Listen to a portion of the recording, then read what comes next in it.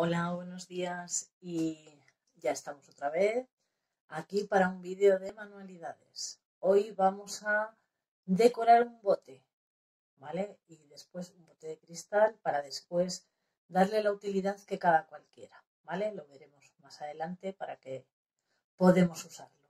Entonces necesitaremos un bote de cristal, ¿vale? Yo en este caso he cogido este tamaño, pero dependiendo del uso que le vayáis a dar podéis coger uno u otro. Pinturas, una para la base y otras de diferentes colores para después decorar. Ya lo veremos. Yo, por ejemplo, voy a utilizar esta que es negra, ¿vale? Para el fondo. Y después la decoración, pues la haré con diferentes tonos.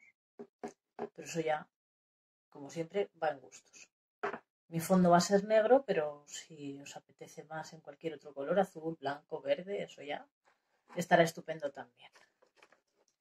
Necesitaremos pincel pequeño y una brocha un poquito más grande porque será más cómodo a la hora de pintar el, la base, ¿vale? Entonces yo voy a usar de dos tamaños diferentes. Y un lápiz. No necesitaremos nada más. Así que, si os parece, preparamos los materiales y nos ponemos en marcha. Para decorar nuestro bote, primero vamos a pintarlo de un solo color. Yo, como veréis ahora, he elegido el negro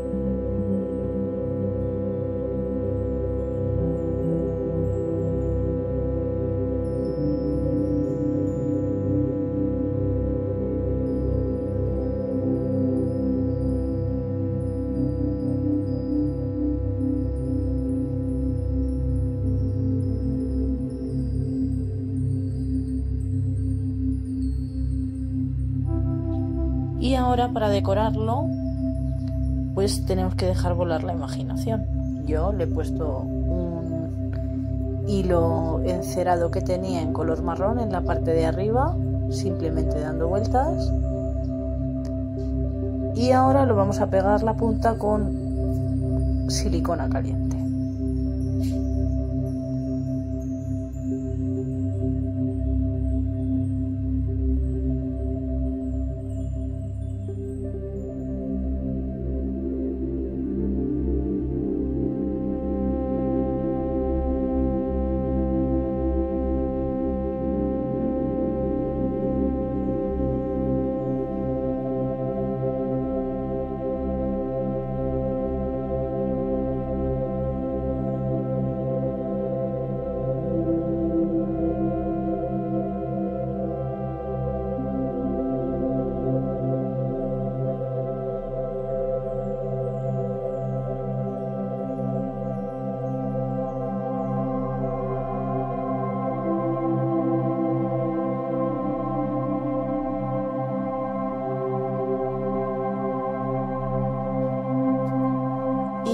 Para adornarle además le voy a poner unas mariposas.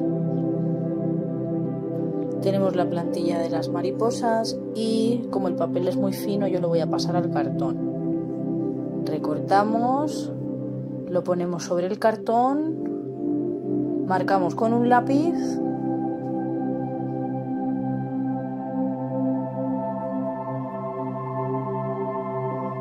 y volvemos a recortar el cartón y ya tendríamos nuestra mariposa.